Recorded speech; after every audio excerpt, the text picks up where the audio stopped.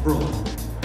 I saw shows tonight that really brilliant, um, innovative, exciting, experimental, fantastic cutting and colour and fabric choices brilliant. So I think it's, it's relates very well.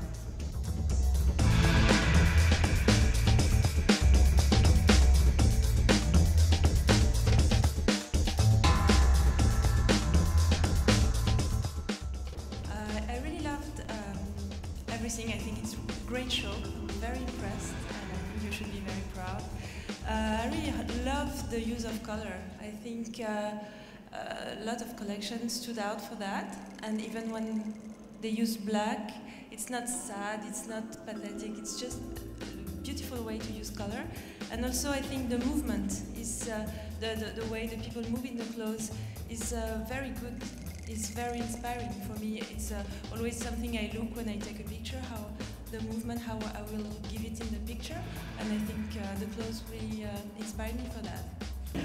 Uh, obviously, we've seen 14 completely different designers. Uh, nevertheless, would you say that there's certain silhouettes or looks or know, trends that you that you saw here that you could relate to uh, uh, what you see online, for example? Um, I don't think there are uh, trends per se each student had a very unique voice, and I think you know with with students' work, you're not really supposed to uh, resonate with trends that are going on you know, uh, globally uh, global fashion scale. So um, I think it's actually a good thing that they're not resonating with trends, that they are projecting a very unique point of view with their uh, collection, and you know uh,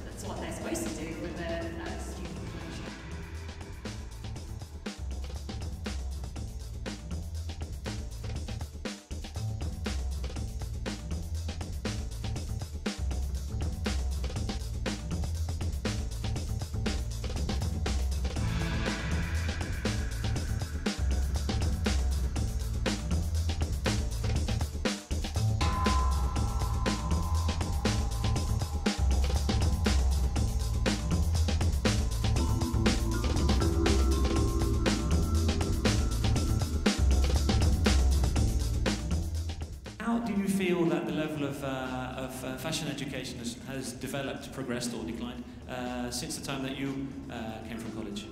Well, to be honest, you know, I came here today um, and I didn't really know what to expect.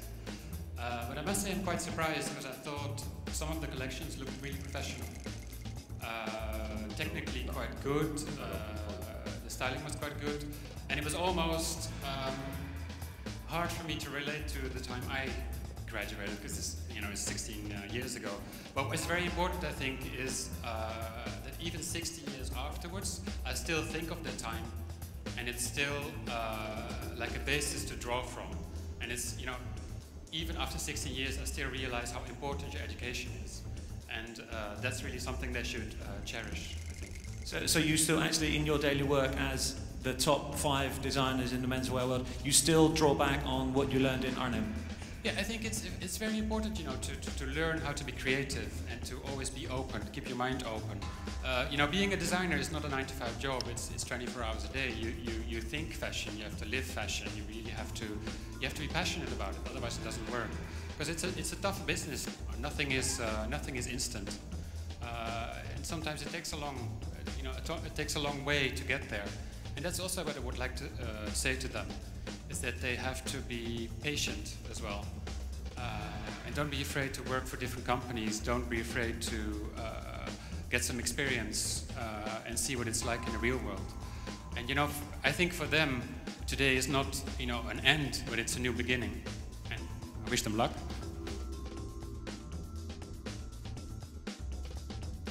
Okay, the winner of Lichting 2009 is Anne Bogaerts.